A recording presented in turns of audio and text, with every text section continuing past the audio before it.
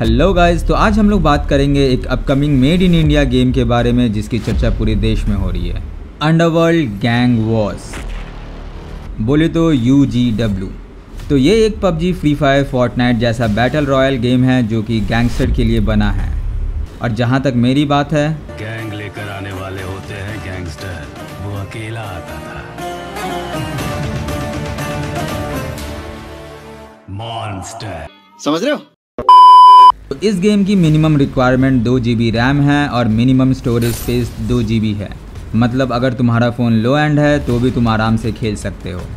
तो गेम की कहानी धनदारा नामक टापू यानी आइलैंड से होती है, जो कि माया नाम के रिवर के कारण दो हिस्सों में बट गया है और यही तुम्हारा मैप है। इस गेम में तुम बीजीमाई की तरह सोलो, डुओ एंड स्क्वाड भी खेल सकते हो। इस गेम में देसीपन का बहुत ख्याल रखा गया है, चाहे वो मैप का लोकेशन के बारे में हो या फिर गन के बारे में या फिर व्हीकल्स के बारे में। तुम्हें पूरी तरीके से इंडियन टच मिलेगा। अब आते हैं व्हीकल्स की ओर। तो व्हीकल में तुम्हें जीप और क्लासिक 350 दिखने को मिलेगा। तो, तो अब भाई तुम लोग क्लासिक 350 बस रोड पे नहीं गेम में भी चला सकते हो।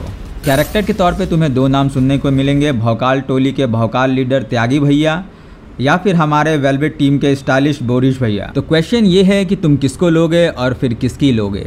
रही बात कस्टमाइजेशन की तो हर एक चीज़ कस्टमाइजेबल है अपने लुक से लेकर गन और व्हीकल तक। हर एक नए सीज़न के साथ new challenges new weapons new skins आते रहेंगे। और अपना डंका बजाने के लिए लीडर बोर्ड पे तुम्हें टॉप करना होगा और highest season rank dawn of the era achieve करना होगा।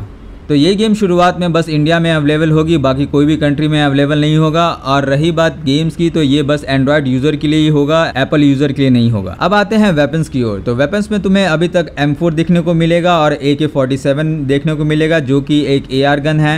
SMG में अगर देखोगे तो SMG में स्टर्लिंग जो की एक सब मशीन गन है, और यूजी देखने को मिलेगा। स्नाइपर के तौर पर तुम्हें एमली थ्री देखने को मिलेगा, और पिस्टल के तौर पर तुम्हें बैरेटा एम और कट्टा देखने को मिलेगा। मेले के लिए तुम्हें हैमर दिया हुआ है तो हैमर उठाओ और थॉर की तरह सबको पेल दो।